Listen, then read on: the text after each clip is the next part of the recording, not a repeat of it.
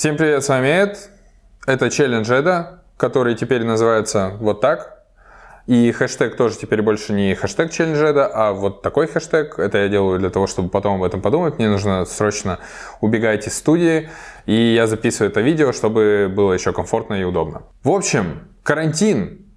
Жуть. Все сидят по домам. Нужно чем-то руки свои занимать, я решил возобновить не только прямые эфиры, первый пройдет сегодня, я решил возобновить челлендж Эда, и у меня уже готовится еще кое-что, ладно, чуть позже об этом скажу. Это, по-моему, пятое задание, то есть четыре мы в прошлом году сделали, начинаем в этом году с апреля, так получилось. И это будет пятое задание. Если вдруг вы решите по предыдущим челленджам из тех, которые мы уже снимали, пофоткать, это абсолютно реально, даже из дома, главное мыслить широко, то по вот этому хэштегу вы можете выкладывать свои фотографии в Инстаграм, я с удовольствием на них тоже посмотрю и как-то их зарепощу или отмечу, если что-то прикольное там будет. Не забывайте, что челлендж, главная фишка челленджа в том, чтобы развить вашу креативность, либо просто позволить вам потренироваться в техническом, например, исполнении ваших фотографий. Сегодня я понимаю наши реалии, нужно что-то снимать, что можно дома сделать, что у всех есть под рукой, но при этом оставить какую-то креативную свободу, чтобы вы могли все что угодно придумать. Я предлагаю такую тему, как бутерброд. Снимаете бутерброд. Как хотите, какой хотите. Кто-то с колбаской, кто-то с сыриком, кто-то там лосось, авокадо, все что угодно на... вертит на это дело.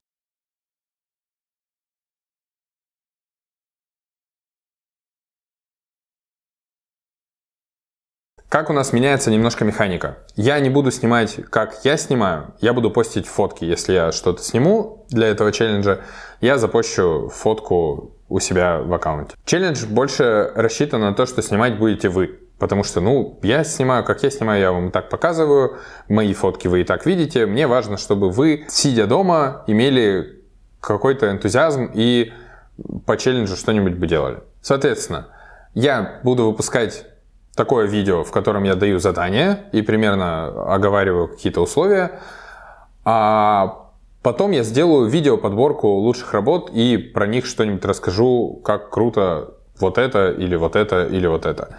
Не, буду, не будет негатива, не будет какого-то подробного разбора, не буду разбирать все фотографии, сразу говорю, это очень-очень сложно. Я обязательно их все посмотрю по хэштегу вот этому. И Буду классно еще репостить, то есть собирать подборки еще и в Инстаграме. Так что, ну вот такой какой-то обмен, не знаю, какая-то активность. Я постараюсь поговорить с людьми, вообще, кто меня смотрит как компании или спонсоры, условно, кто может там предоставить и реквизит, и технику, и все что угодно в качестве призов для победителей или кто захочет выбрать понравившуюся работу и отправить какой-то приз, пожалуйста, со мной свяжитесь, это прекрасно.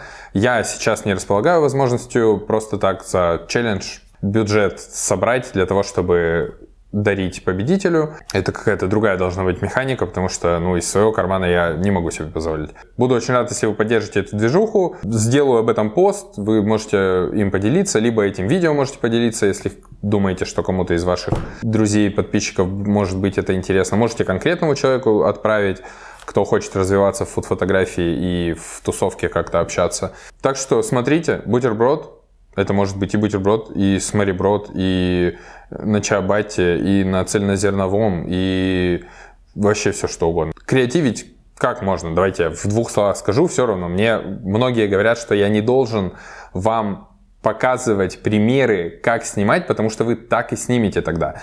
И при этом я не должен показывать примеры, которые я нашел, и показывать, как можно снимать. Потому что тогда, если у вас изначально при просмотре этого видео родилась такая идея, а я потом ее покажу, то у вас автоматический блок на эту идею, потому что типа как будто я ее вам показал.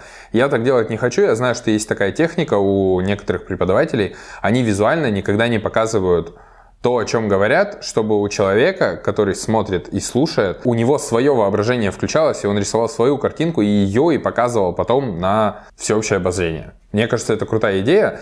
Давайте попробуем. То есть я понимаю, что это выглядит, как будто я просто сказал, снимаем бутерброд. Ну, это примерно так и есть. Так что давайте снимаем бутерброд. Я Буду самые лучшие бутерброды показывать везде, где только могу. Сам тоже постараюсь снять, хотя у меня сейчас много всего происходит. Вот. Я думаю, что у многих сейчас много всего происходит, но поймите и меня. Например, я один пример дам. Например, можно поснимать бутерброд паттерном. А почему я про паттерны вспомнил? Да потому что я сегодня записал теоретическую часть своего курса интенсива по съемке паттернов. Завтра, если штрафы еще не введут за нарушение комендантского часа, я приеду снимать практику. Если нет, то практику придется снимать или в гараже, или дома, не дай бог. И в ближайшее время я уже буду выкатывать этот мини-курс. Что хочу сказать.